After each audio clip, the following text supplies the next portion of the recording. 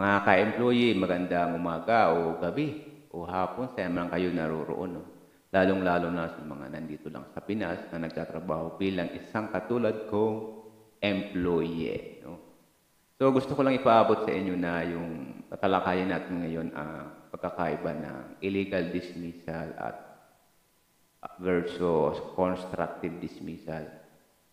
May dal- yan yung common kasing nangyayari sa atin. No? Dapat ah, ma-identify natin yung strategy ng ating mga employer o even employer. Sabihin na natin ma okay yung employer natin pero may mga yung tao na napapatakbo ng ating kumpanya ay sabihin na natin merong something behind. Okay? Yung mga, o let's say personal interest. So sisisipatin natin ngayon yung pagkakaiba ng illegal dismissal at constructive dismissal. So, bilang isang employer, mabigat ang laban dito, no? lalong-lalo na dito sa constructive dismissal ah, bilang isang in- ranking empire or either basta ikaw yung hindi, kumbaga sa ano, meron kang immediate superior ay hindi madali ang makibaka dito sa dalawang ito or sa lalong-lalo na dito sa constructive dismissal. Kaway-kaway dyan sa mga employee. Ah, so, bago ang lahat, no, ini-invite mo na kitang mag-subscribe. At ano nga ba mapapala mo sa pag-subscribe? Siyempre, uh, nidiscuss natin dito yung ganito, employee, ah, criminal law. Ah, yung guys, uh, nakapokus tayo sa criminal law kasi ang inyong lingkod ay uh, license crime. License po tayo bilang isang criminalistic tayo.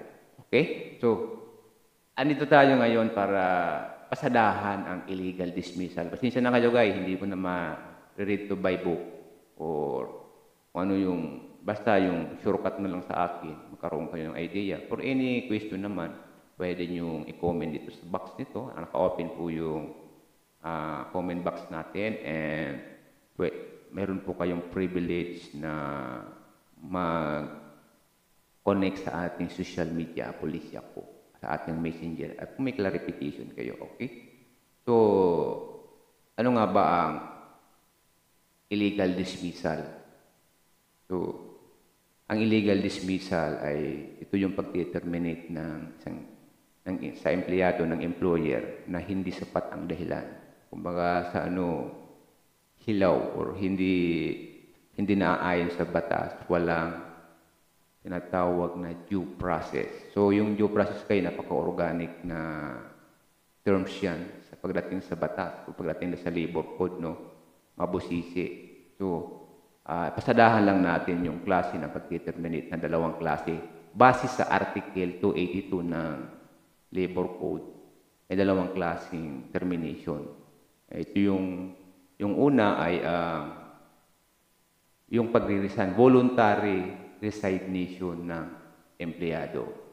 In short, ang logic ay kusang nagre-resign si empleyado sa kanyang employer o sa kanyang kumpanya.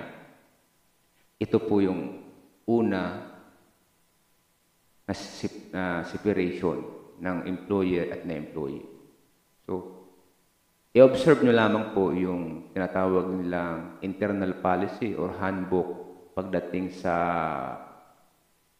tinatawag na voluntary resignation para hindi mawala yung iyong privilege or rights. For example, yung pabayaran ka ng at least a minimum of half month per year or one year per year. Ang common nitong duration ay one month before your effectivity of resignation ay kailangan i-observe mo. So, mandatory ba yon ang tanong? Ah, sa empleyado po, kung hindi kayo pinapayagan ng employer mo, kailangan niyo pong i-observe yung, sa, sa, sa, sa parts po ng empleyado, parang mandatory na i-observe mo yung ah, isang buwan. Okay? Mayroong mga kumpanya na sa handbook na yung lalong-lalo na yung may mga matataas na posisyon ay mayroong 2 months yung maximum na effectivity. At yung, ang tanong another follow-up, paano kung nag-resign ka na effective ng one month tapos ayaw ka na ng employer mong papasukin. Yes, absolute po yun na pwede po nilang gawin yon. So legal naman po yung ganong issue. Bawa effectivity pa one month tapos ayaw ka nang papasukin. So mas okay sa iyo, di ba? Mas pabor nga sa iyo kung tutusin. Kasi nag-resign ka na. Okay? So asa na ba tayo sa Article 282, no? Yung isang klase ay voluntary. Isusurkat lang ng namin yung isang klase ay involuntary. So, ibig sabihin yung forced resignation, pinagre-resign ka, base kasi sa mga legal ground, mayroon kang natanggap na, ay na-violate na tinatawag na mabigat na kasalanan or crime. So, during investigation, pwede ka nilang i-preventive suspension in one month lang ha. Ah, ang take note po, ang preventive suspension ay maximum of one month. Kailangan, after one month, makaka-receive ka na ng resulta na, ng kanyang result. Kapag, kasi kapag naglampas ng one month, may sinasabi ang batas na kailangan kanilang bayaran.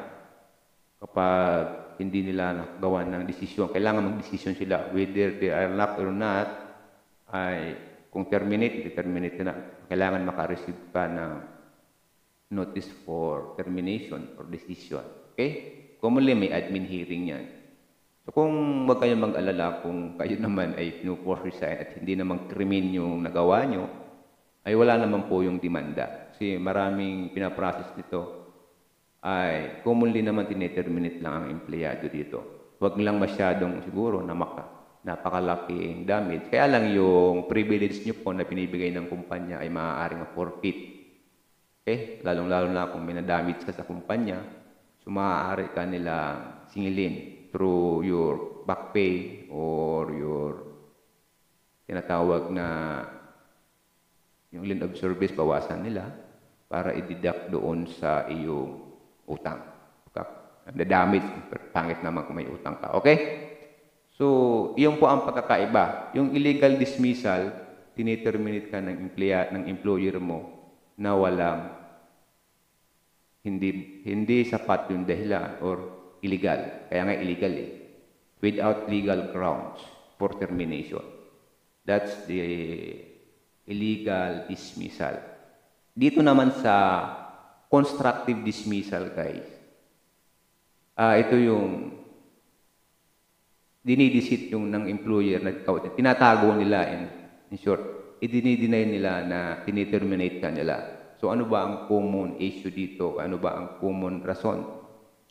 Yun nga, ang objective dito ng employer ay sa constructive dismissal ay ma- ma-meet nila ay makuha nila yung voluntary resignation. So sa kanilang tinatawag na parang pangit na treatment. Napaka yung pinapagawa sa iyo imposible mong magawa. Or dinidemote ka, binabawasan yung mga allowances mo, yung sahod mo, lalo, lalo na yung sahod. So parang inaasar ka nila. Pero hindi ka nila uh, ni-instruct ka na mag ano, mag-resign. So yun yung purpose talaga nila, pinapahirapan ka nila in short. Emotionally, pwede ka nilang emotionally torture or gumamit sila ng mga blackmail, black propaganda, verbal man yan o written, mga ano-anong style. Uh, pag i-explaining ka na hindi naman ka explain, explain na kahit na alam mong tama ang ginawa mo, ay uh, pag i-explainin ka pala, take note guys no, sa mga notice to explain or pag pinag-explain kayo ng uh, employee, company nyo or ng anyone you can explain. Uh, huwag kayo matakot sa mga, marami kasi sa atin ang natatakot sa explanation. Huwag po kayong matakot sa explanation. Kahit isang milyong explanation yan, mag-explain kayo. As well naman na tama yung ginagawa nyo. Ito kung sa batas ay ito yung written explanation ay binibigyan ka ng kalayaang ipagtanggol ang iyong sarili base sa kanilang inaakusa or ina-allegate, ina-allege na violation. So, ang masama kasi dito, kahit valid yung rason mo, ay ginagawa pa rin nila ang gusto nilang gawin. So, it's not illegal. Illegal kung valid naman yung rason. Okay? Yun po yung, basta marami pong style yung illegal ah, constructive dismissal. So, kailangan talaga dyan. Basic rules dito ay alam mo yung batas. Kapag alam mo yung batas, ah, ang guidance naman ng batas para hindi ka maligaw, gawin lamang ang tama. That's it. Kapag wag kang gagawa ng mali, hindi mo ma-violate yung batas. So, common sense, di ba? Nasa edad ka na, alam ko, employer, employee ka, so hindi ka naman i-hire na below 18, na hindi mo lang kakayahang magdesisyon. So, ang sikreto po ng batas, sumunod ka sa tama. So, kung unlawful yung order, kung hindi tama yung order, abay, wag kang sumunod. So, may karapatan po ang employee na hindi po absolute yung tinatawag na lahat ng utos ay susundin. Kung ang lawful lamang, kung ang lawful ka mo yung utos, ah, pwede mong i-explain o kung ayaw niyang makinig, ay duwag. Ayaw mong makinig eh. Basta hindi ko gagawin yon Okay? So, bahala ka kung gusto mo. Ngayon, gawin mo ang gusto mo, gagawin ko ang gusto kong sa palagay kong tama. It's the principle of law. Gawin mo ang tama at pumanig ka doon sa tama, huwag doon sa mali. Kapag ganyan ang ginagawa mo, kahit anong gawa sa iyo, alam mo yung ginagawa mong tama, wala kang mababiolate sa batas or sa labor code. Ang sikreto dito, kapag mga komplikadong sitwasyon, ito ang kailangan mo, mga channel natin. So, kailangan kasi mayroon kang person na advisor. Alalahanin mo, yung presidente na nga, mayroong advisor, eh. tayo pa kaya. So, kasi hindi naman tayo lahat magaling. May mga kanya-kanya tayong linya kung saan tayo. Sabihin na natin, may karoon, mag, nagkakaroon ng konting ideas. Wala pong taong perfecto. Madalang po yun. Si P, ano, si Picto, perfect. Pero, pero sa tao, wala. Si Picto lang ang ang perfect.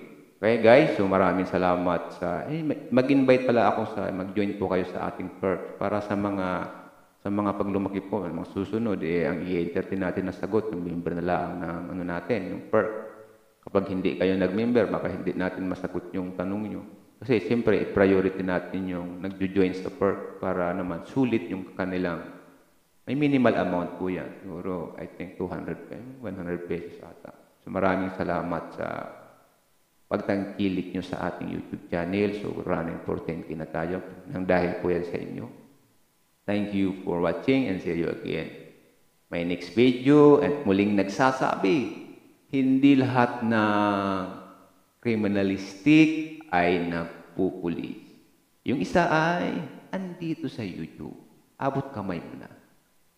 Thank you for watching. See you again in my next video. Mabuhay po tayong lahat. Hindi lang kayo, ako din.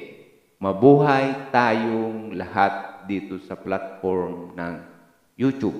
Okay? Thank you.